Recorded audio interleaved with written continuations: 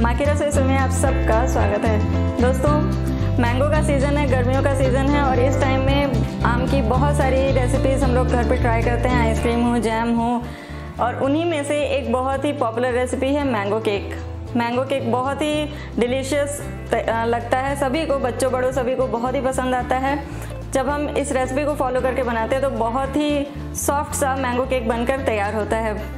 दोस्तों, हम इस रेसिपी में किसी भी तरह के एसेंस या कलर का यूज़ नहीं कर रहे हैं। किसी भी तरह के एसेंस के बगैर ही मैंगो पल्प के साथ तैयार करके ही ये मैंगो केक जो है बहुत ही अच्छा बनकर तैयार होता है।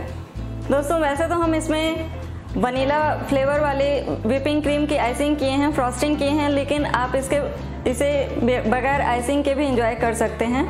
और इसे हम माइक्रोवेव में किए हैं। लेकिन अगर आप चाहें, अगर आपके घर में माइक्रोवेव नहीं है तो आप इसे कढ़ाई में या फिर कुकर में या फिर इडली के स्टैंड में जो हम लोग जिसमें इडली बनाते हैं, उस कुकर में भी आप बना सकते हैं। अगर आप मेरे रवा मैंगो केक की रेसिपी आप देखे होंगे तो हम उसमें इडली स्टैंड में ही बनाए हैं उस केक को, और बहुत ही अच्छा बनकर तैयार होता है। तो ये आपकी अपनी चॉइस है, आप जिस पे भी बनाना चाहें।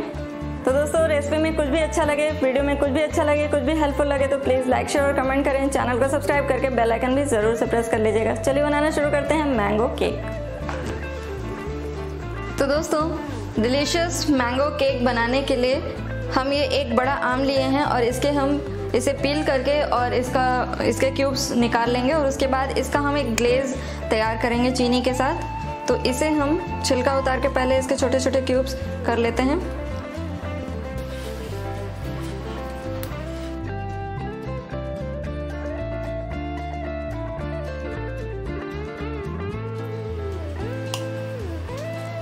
इन क्यूब्स को सीधा हम इस मिक्सी के जार में डाल देते हैं क्योंकि हमें इसे ग्राइंड करके और इसका पल्प तैयार करना है।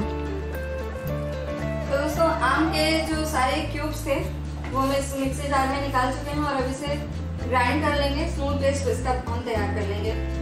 तो दोस्तों, ये पूरी मैंगो प्यूरी हम तैयार कर लिए हैं और अब इसे हमें ग्लेज इसका हमें तैयार करना है। इसके लिए इस प्यूरी को हम इस पैन में ट्रांसफ़र कर लेते हैं। और धीमी आँच पर चीनी के साथ इसे हमें पकाना है। यहाँ पर हम हाफ़ कप चीनी का यूज़ किए हैं। ये देखिए, ये हाफ़ कप का मेज़रमेंट है। 100 एम का है ये, चार ऑन्स का। इससे हम हाफ़ कप चीनी लिए हैं। तो इससे थोड़ी सी शाइनिंग आ जाएगी। पाँच छः मिनट के करीब बस लगते हैं इसे पकाने में। दोस्तों, हमारा ये जो मैंगो ग्लेज है, वो तैयार हो चुका है। इसे बहुत ज़्यादा देर तक नहीं पकाना है। बस पाँच छः मिनट पकाना है, हल्की सी शाइन आ जाए। ज़्यादा देर तक पका देंगे तो ये चाशनी की तरह कड़क हो जाएगी बिल्कुल। तो ये अब बिल्कुल रेडी है और इसे हम साइड कर लेते हैं, ठंडा होने के लिए रख देते हैं। तो दोस्तों, जब तक हमारा मैंगो ग्लेज ठंडा हो रहा है, थोड़ी सी तैयारी कर लेते हैं। ये हमारा केक टिन है और इसमें अच्छे से ऑयल लगा लेंगे और थोड़ा सा मैदा डस्ट कर लेंगे चारों तरफ़। इस तरह से बटर पेपर अगर हम ना भी लगाएँ तो भी आराम से केक जो है वो निकल जाता है हमारा। तो ये हमारा केक टिन तैयार हो गया। अब दूसरी तैयारी है माइक्रोवेव को। हम कन्वेक्शन मोड पे केक को बेक करेंगे तो उसे हम प्री हीट होने के लिए रखेंगे 180 डिग्री पे। अगर आपके पास माइक्रोवेव नहीं है तो आप अगर कढ़ाई या कुकर में बनाना चाहते हैं तो उसे इसी समय प्री हीट होने के लिए रख दें, थोड़े से बालू या फिर नमक के साथ। हाई फ्लेम पर पाँच सात मिनट प्री हीट होना ज़रूरी है। उसके बाद ही हम बेक करने के लिए रखेंगे। दोस्तों, अब हम केक का बैटर बनाना शुरू करते हैं तो उसके लिए एक मिक्सिंग बोल लिए हैं और इसमें ये पिसी हुई चीनी half cup half cup vegetable oil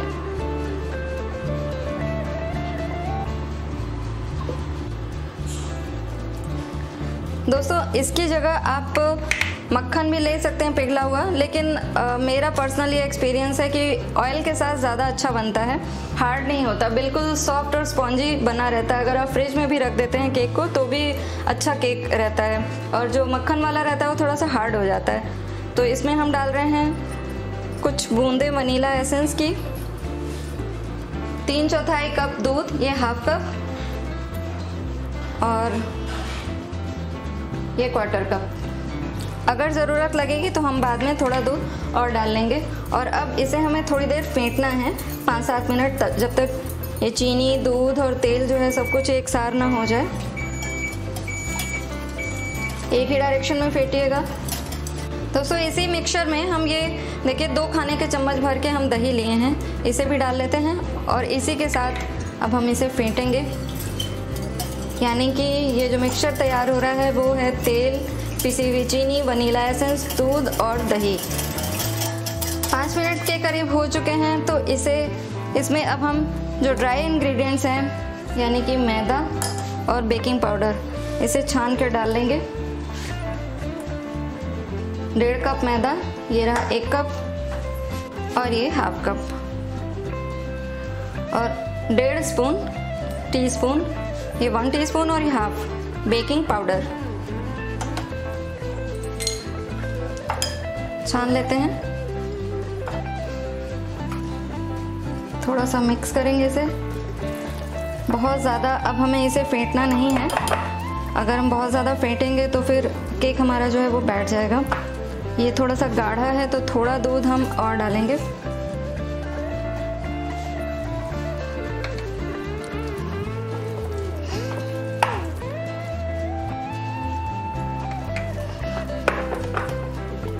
batter हमारा बिल्कुल रेडी है, ये देखिए, बिल्कुल लम फ्री है और फ्री फ्लोइंग पोरिंग कंसिस्टेंसी है इसकी। तो इसमें हम चार चम्मच ये जो मैंगो का जो पल्प ये बनाए थे, चीनी के साथ, चार चम्मच ये डाल देते हैं, चार पाँच चम्मच। एक बार और थोड़ा सा मिक्स कर लेंगे। आम का ये जो प्यूरी है, उसे डालकर एक बार अच्छे से मिक्स करके, बस इस केक टिन में अब हम सीधा इसको पोर करेंगे। बिना देरी किए। तो ये सीधा इस केक टिन में।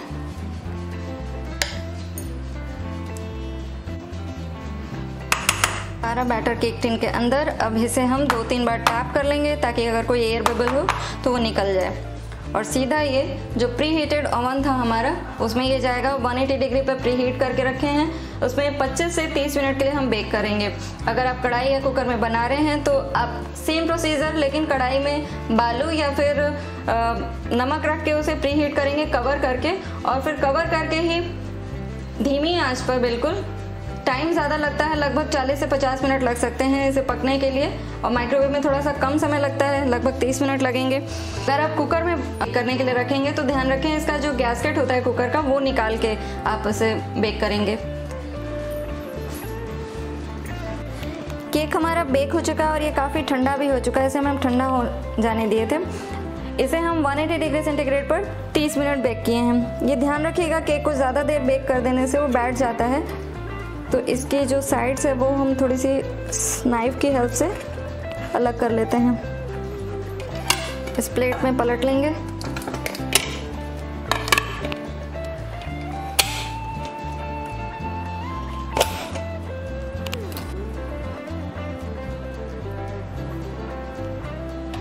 काफ़ी सॉफ्ट और मॉइस्ट सा केक बनकर तैयार हुआ है, ये देखिए। अब हम इसे डेकोरेट करना है। डेकोरेट करने के लिए हम एक शुगर सिरप तैयार करेंगे। उसके लिए आधा कटोरी पानी में दो चम्मच चीनी डाल के और इसका एक बस पिघलने तक इसे हम गर्म कर लेंगे। तो ये देखें, पानी में चीनी अच्छी तरीके से घुल गई है। शुगर सिरप तैयार हो गया है, गैस बंद कर दिए हैं। इस केक को फिर से एक बार पलट लेते हैं। ये जो डोम है, इसे हम काट के अलग कर लेते हैं, ताकि बराबर सा इक्वल रहे सरफेस तो हमें डेकोरेट करने में आसानी हो। इसके बाद हम इसके दो इक्वल पार्ट्स करेंगे।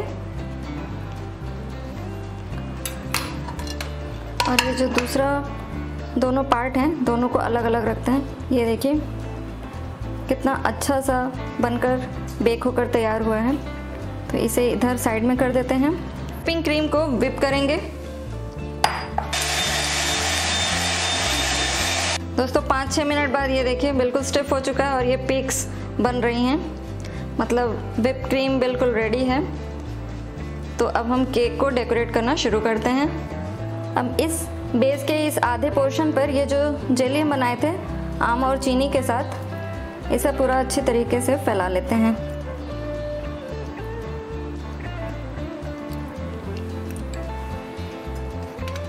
इसके ऊपर ये पोर्शन। सेकेंड वाला। तो ये केक जो है, इसे हम इस पर रख लेते हैं। और इस सरफेस पर जली नहीं, बल्कि ये जो शुगर सिरप बनाए थे, उसे थोड़ा सा चारों तरफ़ ऐसे सोक कर लेंगे केक को। बहुत ज़्यादा नहीं करने की ज़रूरत है, जैसे कि नॉर्मल वनीला केक वगैरह में हम लोग करते हैं। लेकिन इसमें बीच में हमने आम डाला है, आम का पल्प चीनी के साथ पकाकर। तो उसकी वजह से ये काफ़ी वैसे भी मीठा है। तो आप अगर मीठा कम पसंद करते हैं तो इस स्टेप को बिल्कुल अवॉइड कर सकते हैं। और अब ये जो विप क्रीम हमने तैयार की है, अच्छी खासी क्वांटिटी में इसे चारों तरफ़ लगाएँगे।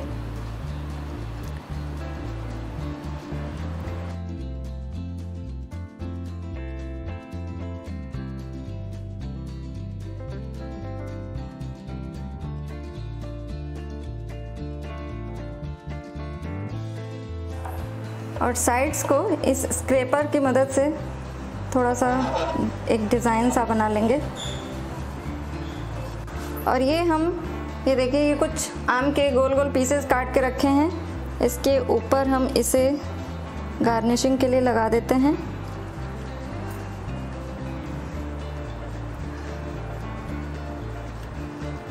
तो लीजिए दोस्तों, ये हैप्पी बर्थडे का भी स्टिकर लग गया है और ये हम अपने बेटे के लिए बनाए हैं।